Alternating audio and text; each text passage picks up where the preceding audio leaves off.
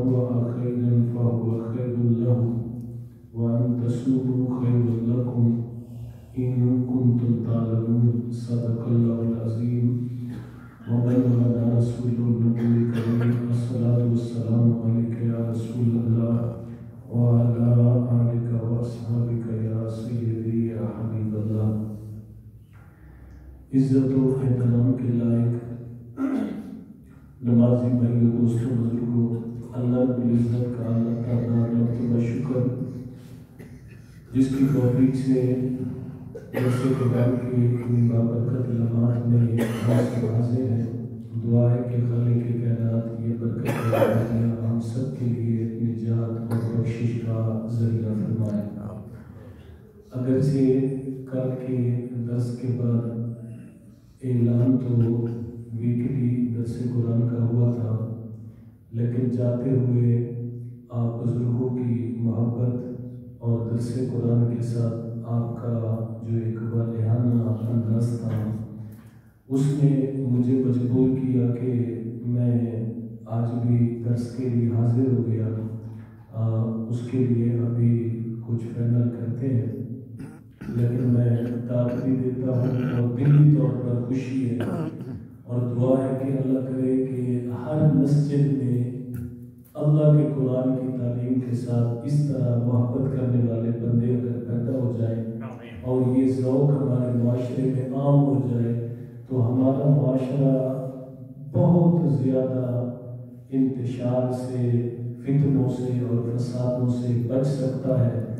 और इस चीज़ की ज़रूरत है कि हम कौम को अल्लाह की किताब के साथ जोड़ने में कामयाब हो जाए। और आप हैरान होंगे कि यही जज्बा जो है, मुझे कल परसों जो है, वो नई आबादी वाली मस्जिद में नज़र आया कि जब परसों मैंने वसीयत के बारे में वहाँ पे दर्स दिया तो वहाँ पे कुछ हमारे डेली बेस पे वहाँ पे सुनने वाले वो साथ है ना, वो क्या एक्सचेंज जो है, वो एक्सचेंज, टेलीफोन एक्सचेंज से जो है, वो सरकारी ऑफिसर है माशाल्लाह, वो डेली बेस पे दर्स सुनने आते हैं। और कल मैंने जब वो वसीयत के बारे में वहाँ पे दर्श दिया तो वो खुद हैरान भी हो रहे थे और मुझे दाद भी दे रहे थे। और स्पेशली तौर पर वो अपने ऑफ़िस से काम छोड़कर कहते हैं कि हम पहले दिन से दर्स सुन रहे हैं और कहते हैं कि वसीयत के बारे में जो बातें आपने बताई हैं या जो अल्लाह के कुरान में बयान हुई हैं हमारी पचास पचास साल ज़िंदगी हो गई है। ना हमें आज तक किसी मस्जिद से सुनने को मिली है, ना किसी मौलाना साहब ने बताया है और ना कभी हमने इनके बारे में पढ़ा है। तो ये ये चीज़ तभी होगी कि जब हम बताने वाले बनेंगे। बताया नहीं जाता, सुना नहीं जाता, उसकी तलब और तड़प नहीं होती। बहरहाल, मैं आपके जज्बात की कदर करता हूँ और आपके जज्बात ने मुझे मजबूर किया कि मैं नागा न करूँ और आपकी समातों की नज़र अल्लाह का कलाम कर गया वो कहते हैं कि ये है दामन ये है गिरेबान अब कोई काम करे। ये है दामन ये है गिरेबान अब कोई काम करे। मौसम का मुँह तकते रहना काम नहीं दीवानों का। अगर आप दीवाना बन के सुनेंगे तो इंशाल्लाह हम भी जो है, वो दीवानगी दिखाएँगे। और अल्लाह ताला हमारा ये जज्बा हमारे लिए खैर और बरकत का सबब बनाए। और इस बात की मैंने कभी कोई फ़िक्र नहीं की है कि सुनने वाले कितने हैं और कितने नहीं हैं। मैं इस मिजाज का बंदा हूँ कि हमारे दिल सब फरमाया करते थे सदा वो कहते थे कि दीन के कामों में ये ना देखा करो कि कितने लोग हैं। ये देखा करो कि जितने हैं वो कैसे हैं। ये नहीं है कि हज़ार का मजमुआ में तिनका होता एक बंदा वो मजमे का फ़ायदा। ठीक है? और अगर थोड़े हों और जज्बे वाले हों काम वाले हों तो फिर अल्लाह ताला उसमें जो है बरकत डाल देता और यहाँ पे उन्होंने एक एक लतीफ़ा भी सुनाया था मैं आपको वो लतीफ़ा भी सुना देता हूँ। ठीक है? वो अखलाकी वजीफा लतीफ़ा है, कोई उसमें बुरी बात नहीं है। वो अपना लतीफ़ा था कि आपने फरमाया था कि जंगल में एक दिन जो है वो लोमड़ी ने गिला दिया था। लोमड़ी ने गिला दिया था शेरनी को। और उसने कहा था कि तू बकरी शेरनी बनी हुई है शेरनी पे मैनू होना चाहिए। तो वो शेरनी ने पूछा भाई क्यों, आपको क्यों शेरनी होना चाहिए? तो वो लोमड़ी कहती है कि मैं साल में दस दस, पंद्रह पंद्रह, बीस बीस बच्चे देती हूँ। और तू साल में एक बच्चा देती है। साल में? एक बच, मैं भी बच्चे जन्म दिया, पंद्रह जन्म दिया शेरनी थे मैंने होना चाहिए। और तुम एक जन्म जल्दी हो साल के बाद और तुम शेरनी बनी हुई हो। तो उसने कहा था कि तू साल तो बाद में पंद्रह जन्म दिए या भी जन्म दिए सारे जन्म दिए ते मैं एक जन्म दिया ते जल्दी मैं शेर। ठीक है? अल्लाह। कोई है कि फिर वो एक हो और वो शेर बन के रहे तो फिर दीन को तो ऐसे बंदों की ज़रूरत है। हजूर वसल्लम का फरमान है कि अल मोमिनुल कवियो खैरुन मिन अल मोमिनिज ज़ईफ। कि जो जज्बे वाला और ताकत वाला से बेहतर है। तो बाद हमने खलूस नियम से ये सिलसिला शुरू किया है और ये देखे ना कि अभी कल की बात है और आज अल्हम्दुलिल्लाह हम आयत नंबर एक सौ चौरासी पे पहुँच गए। ठीक है? वो डेढ़ सौ पारा होने को है तो ये कोई थोड़ी बात नहीं है कि अलैहि वसल्लम का फरमान है ना कि एक आयत को सीखना वो 200 नफल नमाज़ से ज़्यादा सवाब है। एक आयत का सीखना। और आपने हजूर ने सहाबी को हुक्म दिया था हज़रत अबू जर को कि अगर तुम एक आयत सीख लो या इसके बदले में सौ रकत नमाज़ नफल पढ़ लो तो तुम्हारा सवाब बराबर हो जाएगा। तो हमने तो रोज़ाना जो है वो दो दो तीन तीन ऐते करते करते एक सौ चौरासी हम ऐतों पे पहुँच गए हैं तो इसको आप सौ के साथ जरब लगाएँगे तो फिर वो हमारे लिए कितनी बरकत जो है शामिल होगी। तो आज के दरस कुरान में, अल्लाह ताला ने ये बात इरशाद फरमाई कि या अय्युहल्लज़ीना आमनू, ऐ ईमान वालो, कुतिबा अलैकुमुस्सियाम तुम्हारे ऊपर रोज़े फ़र्ज़ किए गए हैं। कमा कुतिबा अलल्लज़ीना मिन कबलिकुम जैसे तुमसे पहले लोगों पे फ़र्ज़ किए गए थे। तो इस आयत से पता चला कि रोजा ये सिर्फ़ हजूर की उम्मत के लिए खास नहीं है बल्कि रोजों का हुक्म पहले भी नबियों पर था और पहली उम्मतें भी रखती थी। लेकिन जो सवाब और जो अजर और जो बरकत अल्लाह ने मोहम्मद मुस्तफ़ा के रोजों में रखी है वो बरकत अल्लाह ताला ने किसी उम्मत के रोजों में नहीं रखी। और हजूर फरमाते हैं कि लौ ला यालम उम्मती मा फ़ी रमदाना अबदा कि अगर मेरी उम्मत के लोगों को पता चल जाए कि अल्लाह ने रमज़ान में कौन कौन सी बरकतें रखी हैं तो मेरी उम्मत के लोग ख्वाहिश करेंगे या अल्लाह सारा साल रोज़े होने यानी ऐसी बरकतें अल्लाह ने रखी एक बात। दूसरी बात रोजा कहते हैं सुबह से लेकर सुबह सादिक से लेकर सूरज के गरूब होने तक अपने आप को तीन कामों से रोक के रखना, खाने से, पीने से और अजदवाजी ताल्लुकात से। यानी इन तीन कामों से रुकने का नाम रोजा है। तीन कामों से रुकने का नाम रोजा है। ये बात इसलिए बता रहा हूँ, ये कुर्बानी वाले दिन आपने देखा होगा कि अक्सर लोगों के मुँह से आप जुमला सुनते हैं कि मेरा रोजा है। मेरा तो वो ईद वाले दिन जो है, कोई रोजा नहीं होता। ठीक है ना? ना वो रोजा शुमार होता है और ना वो रोज़े का स्वाब है। वो एक गलत बात मशहूर है लोगों में। वो असल बात यह है कि हजूर सल्लम की ये तालीम है कि कुर्बानी वाले दिन, ईद वाले दिन अपने खाने की इब्तदा कुर्बानी के गोश्त से करो।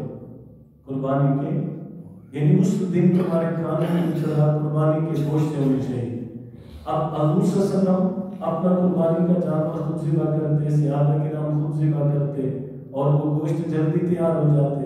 लेकिन उनके लिए तो वो शुरू करना समझ में आता है। और हमारे यहाँ जो रूटीन बन गई है कि चार बजे तक कसाई ये तो भुगते मरा ना निकालेंगे तो इसलिए ये ना रोजा होता है, ना इसका रखना ज़रूरी है, और ना ही जायज़ है ईद वाले दिन तो रोजा रखना ही मना। ठीक है। तो ये है कि अगर कोई बंदा खुद ये एहतमाम करता है कि ईद की नमाज़ पढ़ के वो फ़ौरन जो है जाके अपना जानवर जिबा करता है और जल्दी गोश्त तैयार हो जाता है तो वो कर सकते हैं। ये सुन्नत है। ये क्या है? सुन्नत है रोजा शुमार नहीं तो रोज़े की जो है तीन किस्में हैं। एक फ़र्ज़ रोजा है कि जो रमज़ान शरीफ का होता है। दूसरा है वाजिब रोजा। वाजिब रोजा ये है कि कोई बंदा अपने ऊपर लागू करता है मन्नत के तौर पर। अल्लाह की बारगाह में अर्ज़ करता है कि अल्लाह, मेरा ये काम हो जाए तो मैं तेरी रजा के लिए इतने रोज़े रखूँगा। ये मन्नत होती है। और यही सही मन्नत है जो अल्लाह के नाम पे जो है मन्नत वो की जाती है। ये जो हमारे यहाँ रिवाज के दरबार पे जाके कह देते हैं कि बाबा जी, मेरा एक काम हो जाए तो मैं इतने बकरा देना ये मन्नत मन्नत नहीं होती। ये मन्नत, ये आप बतौर मसला जहन में ये जो दरबार में कोई बकरा चतरा या कुकड़ मुर्गा वगैरह दे आते हैं, ये मन्नत के खाते में नहीं जाता। ये उस मरहूम के इसाले स्वाब की तरह से जाता है। वो सदके के तौर पर होते मन्नत नहीं होती। मन्नत सिर्फ़ अल्लाह के नाम की। जब भी मन्नत मांगे सिर्फ़ अल्लाह के नाम की मन्नत। आप मन्नत मांगे या मैं तेरी बारगाह में सवाल करता हूँ मेरा पूरा हो जाए मैं इतनी नफलें अदा कर या अल्लाह तेरी बारगाह में सवाल करता हूँ मेरा ये काम हो जाए मैं इतने रोज़े रखूँगा या अल्लाह मेरा ये काम हो जाए मैं फुला जगह पे तेरे नाम का सदका करूँगा ये ये जायज़ मन्नत है मन्नत अल्लाह के नाम की होती है तो ये वाजिब होता है कि अगर कोई बंदा अपने ऊपर रोजा लागू करता है कि यार मेरा ये काम हो जाए मैं जो है अपना तेरे नाम का रोजा रखूँगा। तो ये रोजा रखना वाजिब होगा। और तीसरा रोजा है कि मुस्ताहब नफली रोज़े हो गए।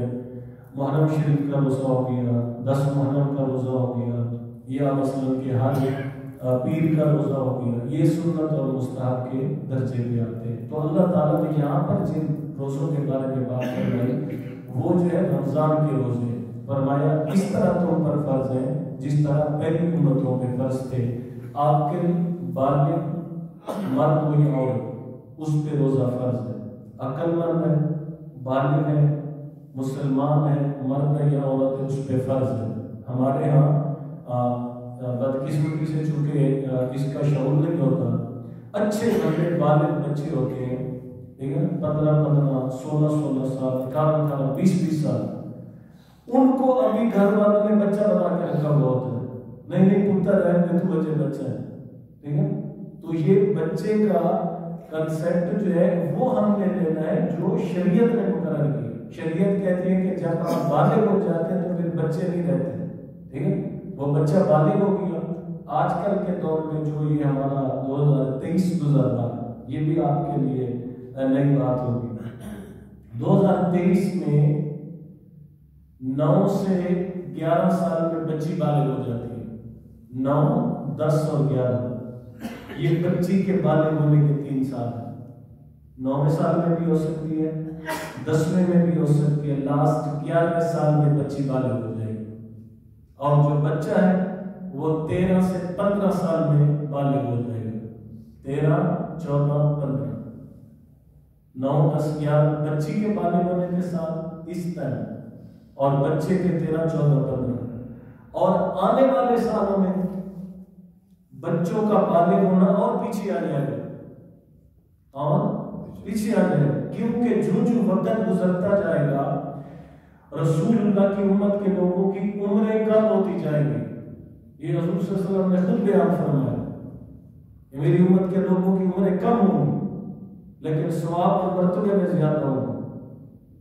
पिछली उम्मतों के जो लोग होते थे उनकी उम्र ज़्यादा होती थी। ठीक है? हज़ार हज़ार साल उम्र है दो दो साल उम्र है बल्कि हज़रत इस्लाम एक मरतबा सफ़र कर रहे थे तो एक मैयत के लोग रो रहे थे और उसकी माँ रो रही थी कि मेरे बेटे ने अभी ज़िंदगी का सब्जा नहीं देखा मेरी बे, मेरे बेटे ने जवानी नहीं देखी मेरी मेरे बेटे ने जो है वो ज़िंदगी को एंजॉय नहीं किया। वो हज़रत उमर इस्लाम भी रुक गए तो आपने पूछा इसकी उम्र कितनी है? तो बताया गया तीन सौ साल। कितनी? तीन सौ साल की उम्र पाके वो बच्चा बहुत हुआ और उस पे वो रो रही है खातून के मेरे बच्चे ने अभी ज़िंदगी का सब्जा नहीं देखा। तो नूह इस्लाम ने उसको तसल्ली दी कहा कि तेरे बेटे ने 300 साल उम्र पाई है आखिरी नबी की उम्मत के लोगों की टोटल उम्र 70 70 80 80 साल होगी। तो वो खातून हैरान होकर पूछती है कि क्या वो शादी नहीं करेंगे? क्या वो निकाह नहीं करेंगे? क्या उनके बच्चे नहीं होंगे? नूह इस्लाम ने फिर बताया, ये सब कुछ होगा, लेकिन अल्लाह ताला उनकी उम्र का जो प्रोसीजर है, वो इस तरह कर देगा कि वो छोटी उम्र में जो है, बड़ी उम्र के काम जो है, वो होना शुरू हो जाएँगे। मैं स्कूल में पढ़ाता हूँ, आपको पता है नाइन्थ और टेंथ के बच्चे हैं मतलब सारे साल के बाद सफ़ेद होते ठीक? तो इस तरह जो है, वो फिर जमाना तेज़ी से गुजरेगा।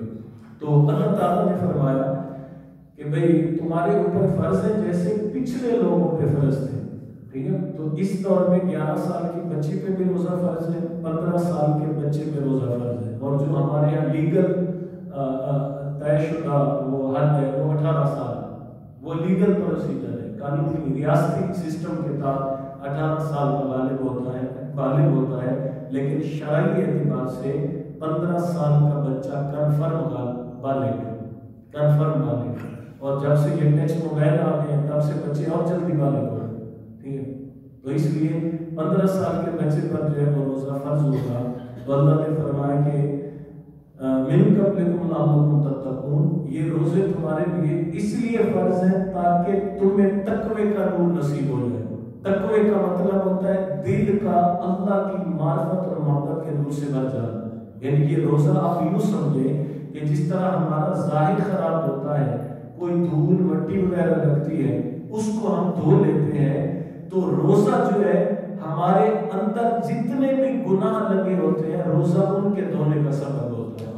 उनके धोने का सबब होता है। जिस तरह सर्विस स्टेशन होता है, गाड़ी जाती है और प्रेशर के साथ उसको जो है, सब कर लिया जाता है। तो ये रोजा जो है बनता है मोमिन के बातें के लिए, उसके दिल के लिए, अंदर के लिए जो है, वो सर्विस स्टेशन का काम करता है कि जो जो बंदा रोजा रखता जाता है, अल्लाह उसके दिल को उजला और सुथरा करता चला और जब ये दिल उजला और सुथरा हो जाए और तकवे का नूर पैदा हो जाए तो फिर अल्लाह ताला उस बंदे से तमाम पर्दे हटा देता है। और जो रोज़े को रोजा करके रखते हैं उसकी शरायत उसके तकाजे, उसके आदाब पूरे करते हैं। रोज़े की हालत में झूठ से, चुगली से रीबत से, बेईमानी से फराद धोखे से बचे रहते हैं।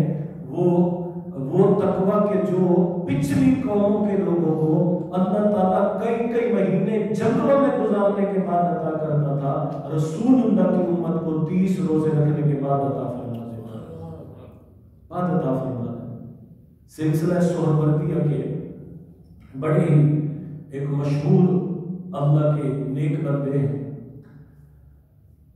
हज़रत ख्वाजा शहाबुद्दीन सोहरवर्दी रहमत ये एक मरतबा खाना काबा के सहन में बैठे थे और आपने अपने ऊपर चादर की हुई थी और अल्लाह का ज़िक्र कर रहे थे। हज़रत खिजर इस्लाम आए और उन्होंने आके कहा कि बाबा जी, उधर एक आलिम दीन लोगों को हदीस का दर्श दे रहा है। तुम्हारे लिए वो हदीस का दर्श सुनना ज़्यादा बेहतर है इस ज़िक्र के करने से। इस, और मसला भी यही है, अगर इल्म की महफल हो रही हो, कोई आलिम बयान कर रहा हो, दर्श दे रहा हो तो उस वक्त जो है ज़िक्र अस्कार और नफी इबादत वो नहीं करनी चाहिए, बल्कि वो दर्श सुनना ज़्यादा स्वाब का काम है। तो हज़रत इस्लाम ने कहा कि, बाबा जी वहाँ पे एक आलिम दिन हदीस का दर्श दे रहे हैं, तुम वो सुनो। तो वो अल्लाह के नेक बुज़ुर्ग कहने लगे कि जिसके साथ अल्लाह का नबी खुद बात कर रहा हो जिसके साथ अल्लाह का नबी खुद बात कर रहा हो उसको किसी और से क्या ज़रूरत है कि नबी की बात सुने?